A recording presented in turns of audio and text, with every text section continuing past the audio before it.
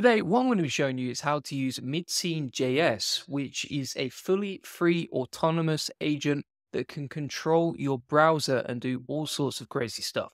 So as an example, this is completely free to set up. I'll show you how to set it up in a second. You can just get a quick Chrome extension. It doesn't take long to get this deployed at all. And you can see here how it can basically navigate websites. It can create content for you. It can even search a web view. Pretty powerful stuff. This is MidScene.js on the right hand side, so you don't need to be a coder or anything like that to set up. You can run this locally as well. I'll show you how to do that later. But essentially, what's wild about this is you can basically automate an agent in your browser completely free. Then it can go around, navigate the web for you. And before you know it, you don't even need to click any buttons or search Google yourself anymore. So if you're wondering, okay, how do you get it set up? I'll give you a link with all the documents and all the code that I mentioned today, but essentially you can get this for free just search midscene.js on the Chrome extension store. And then from there, you can download it like you see right here. And once it's downloaded, it's going to look something like this, right? One of the things I would warn you about now is that more and more of these agents are going to be coming out. I can expect, for example, ChatGPT, Google, all these other APIs probably going to release their own autonomous agents on Chrome and other browsers this year. It's just a matter of time. So it's really important to start understanding how these work in a minute, which is why it's so important to test and run these right now because you can imagine the internet is going to be navigated in a totally different way in the future, right? Especially if AI can just do most of the stuff for you. So once you've got the Chrome extension like you see right here, you're then going to select the midscene.js Chrome extension icon over here in the top right on Chrome. And then from here, what you want to do is integrate this now, from here, if you want to get free access to this, if you want to run it for free, don't pay for the AI, don't pay for the Chrome extension, etc., then you can use the code that I have right here and just integrate this with your own API key, right? So how this works essentially, now there's all sorts of models you can insert into this, right? So you can choose loads of different models. There's loads of custom ones. For example, you can use Gemini and you can actually use 2.0 Flash as well. But we're just going to use 1.5 Pro to show you some examples today. Additionally, you can also use Claude, GPT-4o, etc. Right, pretty easy and simple to set up. Now, if you didn't know it already, Claude have released computer usage, which is another kind of autonomous agent that can click through your browser, click some buttons, etc. But the difference here is number one, this is hosted in a sandbox, so it can't really interact with what you have live on the screen. It's going to be in a, a sort of separate environment, a virtual environment. And number two, this is actually pretty hard to set up right? You need to use terminal. It's a lot of work. It's a lot of hassle back and forth. Whereas essentially with the MidScene.js Chrome extension, it's really simple and it doesn't have to interact with just the virtual environment. It can interact with whatever screen you have currently up, right? So how this works, if you want to run it for free, is that you use this piece of code right here and you're just going to paste this into this section, right? The environment config. So you take this code, like, and all the notes are inside my free ChatGPT SEO course if you want to get access to this. Link in the comments and description. Just go to free SEO tools and then mid MidScene.js once you've logged in. And so we can take this code, grab that, go to edit over here, paste that in, and then you can see how I've inserted my API key here. So here's what it looks like once it's filled in. So it's got the reference to the API that we're using. It's got the API key inserted. I'll show you how to get that in a second. And then it's got the name of the MidScene model we're using, right? Which is Gemini 1.5 Pro as you can see right here. Now, if you want to get a free API key, just go to aistudio.google.com forward slash API key. You can get a free one and then just click on get API key, create an API key, and then you can get one just like you see right here. Not paid, completely free. Just copy that, paste it into the code we were talking about before. So you paste it right here after the quote marks, then you grab that, plug it in over on MidScene.js. And that's what it's going to look like once it's plugged in. Now, once you get your head around that, it takes about 60 seconds or so to actually get all of this set up. And once it's set up and running, you don't need to mess around with it again. So, as an example of that, if you go to a Google Doc and I'm like, don't fancy writing the content myself today, I'm just going to get someone else to do it for me. And so we're going to get MidScene.js to actually write content for us. I'm going to say write about SEO for me. We'll hit run. What this is actually going to do is start screenshotting the Google Doc. So you can see down here, it's looking at the Google Doc, it's planning it out, it's figuring out, okay, how we're going to write the content. Then it's looking inside the document body. And now you can see that it's actually beginning to start writing inside the doc, right? Pretty crazy. It's just interacting with my browser. It's taking screenshots. You can see where it's navigating and what it's doing right here. And it's even taking a screenshot of the finalized blog, right? And it's done right there. And this is scary stuff because anything admin related, where it's just like clicking buttons and you don't really need too much thought about that, you can imagine three months, six months, 12 months down the line, you're probably not going to hire someone to do like virtual assistant work like that.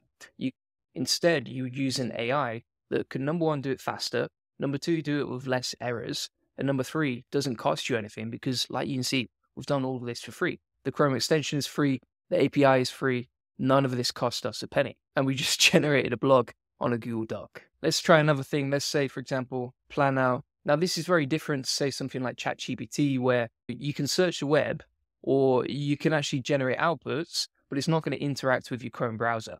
That's the difference here. Is this is all of a sudden getting pretty real because now it can interact with your real world and it can interact with your screen, it can interact with your documents, and it can control the whole screen for you. In many ways, you could say that's quite dangerous. Let's try another thing now. So what I've done here is I've actually gone onto Ahrefs and said, find me some SEO keywords. And it's not done it perfectly. This is a very beta version of the project. So it has done the search for me, but it's just searched for something like SEO keywords. So I think you need to be a bit more specific with the prompt. I'm not going to be SEO and tell you this is magic and it's going to change your world today. But for example, if we say, okay, find keywords related to agencies that my SEO agency could rank for, maybe if we get more specific with the prompt, we can see how that performs and what sort of outputs we get back from it. So now it's actually searching for SEO agencies and it's actually found us a bunch of keywords like you can see right here. It's also looking through the keyword difficulty section. Let's see if it can actually, I don't think it's going to search. The only issue that I have is it's not that smart. So for example, Usually, what an SEO would do is they go to Keyword Explorer, search, for example, like SEO agencies, and then they're going to start looking through like terms match, filtering down to KD10 or less, etc. And so it seems to do a few clicks here and there, but it doesn't seem to be able to figure out, okay, I should filter down for keyword difficulty and that sort of thing. So I'm going to narrow this down say find some low competition keywords related to SEO agencies, some SEO agency could rank for, find me the best opportunities on Ahrefs. So let's give that a whirl, see how it performs. The other thing I'd be interested to know is, okay, if you're using GPT-4o or you're using Claude 3.5 Sonnet as the API, do you get better outputs and is it more useful? So maybe we can test that in a minute. Yeah, you can see here that it's not that useful when it comes to this information. What I'm also going to say from here then is I'm going to go to query now. I'm going to say, give me a list of keywords from the page that I can rank for. And let's see if it can actually extract information from the page. So you can see so actually what it's done is it's taken the keywords from the also rank for section and then given us that list right there and extracted it for us. So actions is more like interacting with the screen and then query is more like taking the information from the screen and breaking it down into a simpler format for you. So it's not just good for actually like running actions, but it's also good for taking the data from the outputs that you get and then extracting the most relevant stuff for you, for example, like a list of keywords. Let's see if it can do other stuff. For example, write a tweet for me I'm going to hit run on that and see what it does. And it seems to be planning out sending a message. Not so great there, not so great outputs. So it's good for some stuff like, for example, going on Google Docs, editing documents, etc. It's really bad for actually interacting with social media directly. I don't think it's going to replace us on Twitter or anything like that anytime soon. What I'm going to say now is like create a spreadsheet plan of my blogs for the next three months for my SEO website. Let's see what it does inside Google Sheets here, whether it can interact with it properly, whether it figures out what's going on here. So it's doing something in the top left there. Certainly having a cheeky think about it. So it's actually renamed the name of the document, SEO blog plan, next three months. But the outputs were pretty terrible. Now what I've actually done here in the edit section is just select Gemini 2.0 Flash Experimental, which is a more recent version of the APIs and just see if that's a bit smarter. So let's see how that goes. So now we're going to get it to interact with Google. As you can see, we've actually got it to search the price of Bitcoin and it's done that for us here. So actually did a Google search, started using the web for us and then found the price of Bitcoin as you can see. So it can interact with search engines, with Google Docs.